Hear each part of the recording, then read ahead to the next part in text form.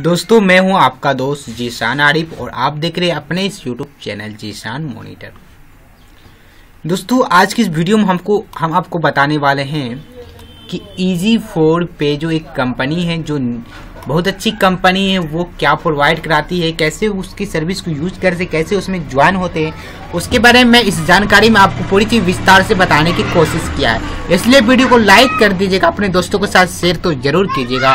अगर चैनल में पहली बार आए हैं तो चैनल को सब्सक्राइब कर दीजिएगा। अगर सब्सक्राइब कर चुके हैं ऑलरेडी तो आपको बहुत बहुत धन्यवाद।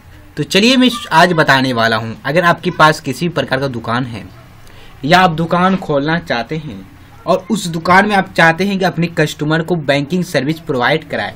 मतलब कि कोई भी आपके दुकान में आए, अपने अकाउंट से रुपया निकाल के ले जाए, अंगूठा से निकाल के ले जाए और एटीएम कार्ड से स्वैप करके भी ले जाए।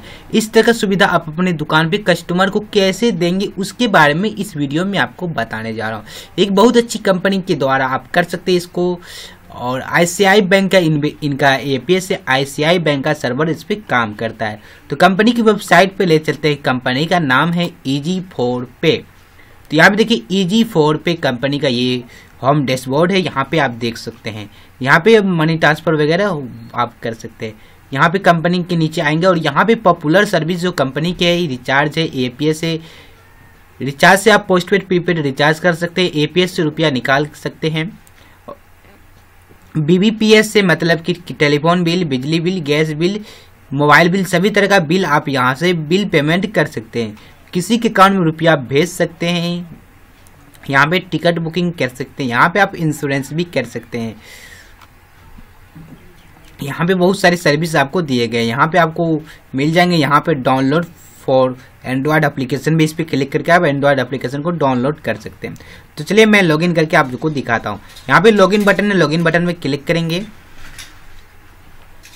उसके बाद यहाँ पे आपको एप्लीकेशन यूज़र सेलेक्ट रहेगा, इसी को रहने दो उसके बाद अपना यूज़र आईडी यहाँ पे एंटर करेंगे और यहाँ पे पासवर्ड एंटर करने के बाद यहाँ पे लॉगिन पे क्लिक कर देंगे। लॉगिन पे जैसे क्लिक करेंगे, इसका डैशबोर्ड कुछ इस तरह दिखने को मिलेगा और यहाँ पे मेरा करंट बैलेंस जो है वो यहाँ पे शो कर जाएगा ठीक है? और यहाँ पे टोटल सेल्स आज मैंने कितने रुपए का काम किया इस पोर्टल पे? सौ रुपये का मैं काम किया आज की आज में, ठीक है? तो जितने रुपए का मैं आज निकासी वगैरह करूँगा, यहाँ पे टू डे होगा। कितना रुपए का मैं परचेज किया, वो आज आज मुझे कितना इनकम हुआ अर्निंग हुआ, आज के डेट में।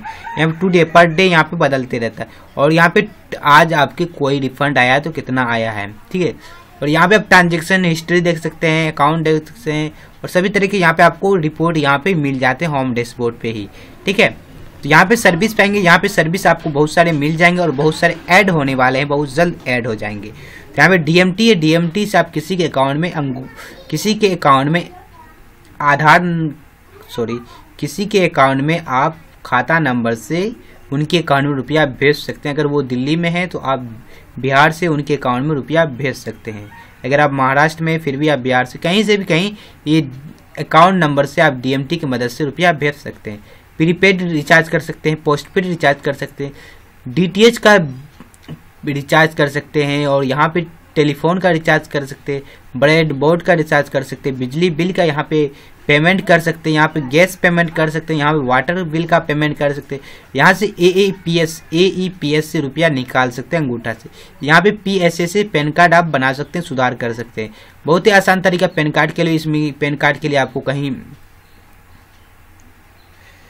पैन कार्ड के लिए आपको कहीं पर डॉक्यूमेंट सेंड करना नहीं होता है। यहाँ पे एपीएस पे क्लिक करेंगे, रुपया निकालने के बारे में हम जानकारी पहले आपको देते हैं। एपीएस पे जैसे क्लिक करेंगे आपका अगर एपीएस एक्टिव रहेगा तो ये रिडायरेक्ट कर देगा और ऑटोमेटिक ये न्यू टैब में ओपन कर देगा आपको, ठीक है? यहाँ पे देख लीजिए I proceed by ICI bank के द्वारा, ठीक है? आईसीआई बैंक बहुत अच्छा बैंक आप जानते भी है कि बल्कि ये आईसीआई बैंक इंडिया में ही नहीं, कई देश में ये बैंक चलता है, ठीक है? आईसीआई बैंक इंडिया में नहीं, बहुत सारे देश में चलता है, ठीक है? और यहाँ पे कस्टमर का मोबाइल नंबर देंगे, किसी का भी एक मोबाइल नंबर देंगे, ठीक है? तो सबसे पहले मैं आपको दिखा देता हूँ।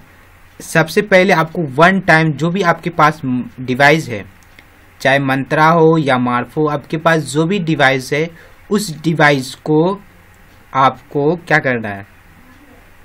रजिस्टर करना एक बार रजिस्टर कर देंगे, उसके बाद आपको रजिस्टर करने की ज़रूरत नहीं है। तो सबसे पहले यहाँ पे मोबाइल नंबर देंगे। अगर न्यू है तो आप मोबाइल नंबर यहाँ पे देंगे। उसके बाद कंटिन्यू करेंगे।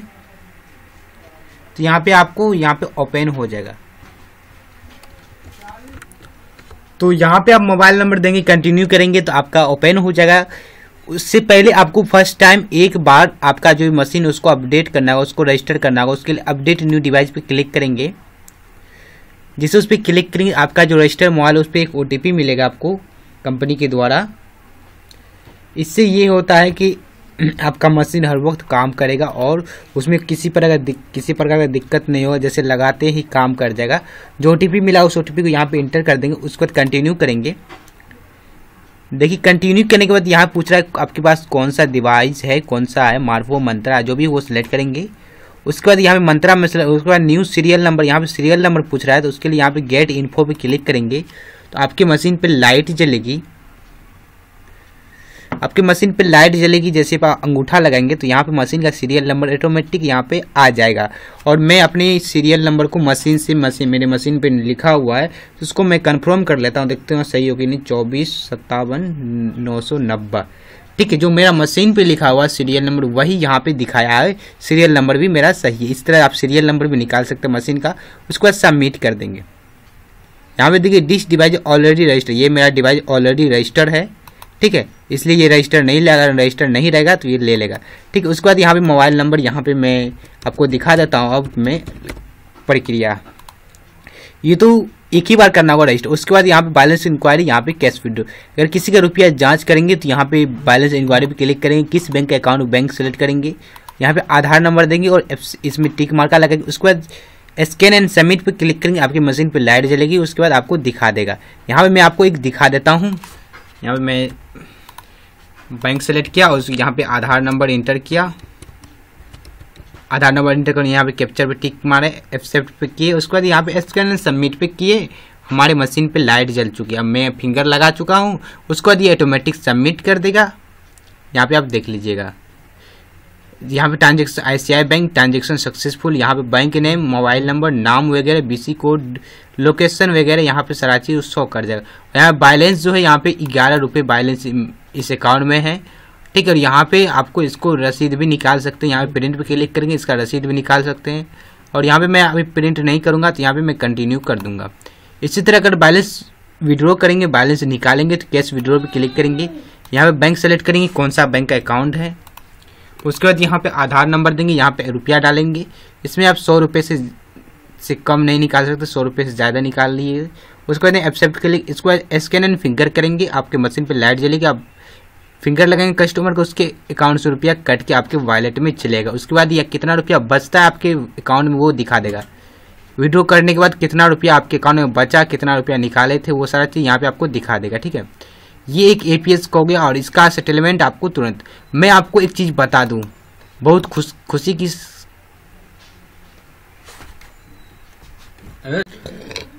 सबसे खुशी की बात तो यहाँ पे ये मिलने वाली है आपको कि आपका एपीएस जो आपका बैंकिंग सर्विस है, वो आधा घंटा में एक्टिव कर दिया जाता है। बहुत सारी कंपनी है जो बहत्तर घंटे लेती है एपीएस एक्टिव करने में, लेकिन ये आपको सिर्फ़ और सिर्फ़ बहत्तर घंटे नहीं, सिर्फ़ और सिर्फ़ आधा घंटा ईजी फोर पे कंपनी जो है, ये आपको एपीएस एक्टिव करके दे देगी आधा घंटा में।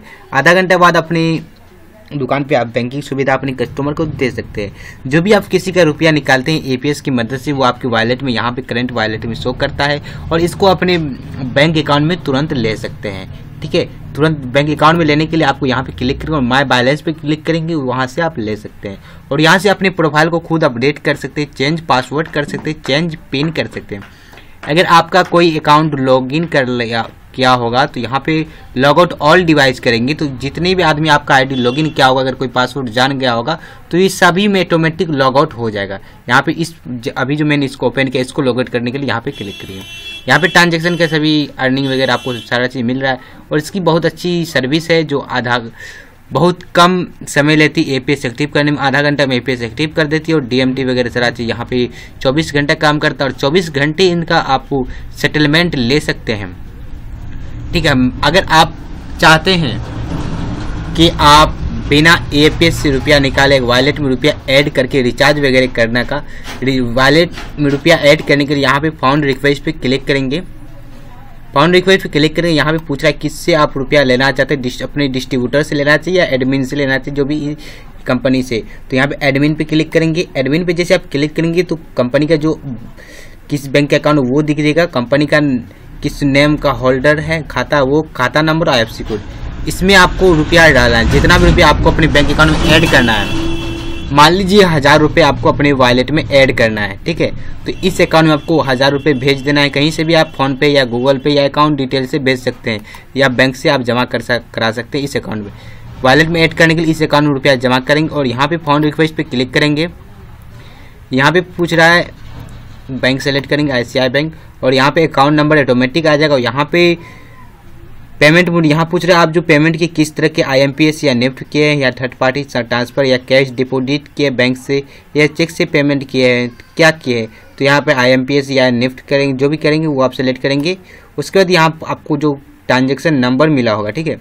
अगर आप फ़ोनपे वगैरह या कोई चीज़ से पेमेंट किए होंगे या नेट बैंकिंग से किए होंगे तो वहाँ पे ट्रांजेक्शन नंबर मिला, वो ट्रांजेक्शन नंबर देंगे और अकाउंट होल्डर का नाम देंगे, ठीक है? उसके बाद यहाँ पूछा कितना रुपया आप ऐड करना चाहते हैं, कितना रुपया आप ऐड करना चाहते हैं, कितना रुपया आप भेजें कंपनी के वो देना होगा। उसके बाद यहाँ पे पूछ रहा है, आप ये रुपया किसमें लेना चाहते हैं? प्रीपेड वॉलेट में लेना चाहिए या यूटिलिटी वॉलेट में?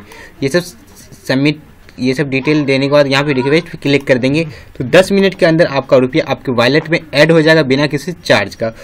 और यहाँ से आपको सर्विस भी मिल जाए और यहाँ पे सभी सर्विस के कमीशन मिल रहा है रिचार्ज वगैरह क्या कौन सा सर्विस को क्या कमीशन आपको मिल रहा है, वो सारा चीज़ यहाँ पे आप देख सकते हैं और यहाँ पे यूज़र रिपोर्ट पे आप रिपोर्ट देख सकते हैं।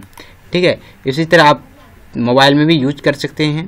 अगर इसका, अगर आप इसका आईडी लेना चाहते हैं रिटेलर आईडी या डिस्ट्रीब्यूटर आईडी या मास्टर डिस्ट्रीब्यूटर आईडी ठीक है? तो मिनी एटीएम भी इसमें आपको मिलेगा।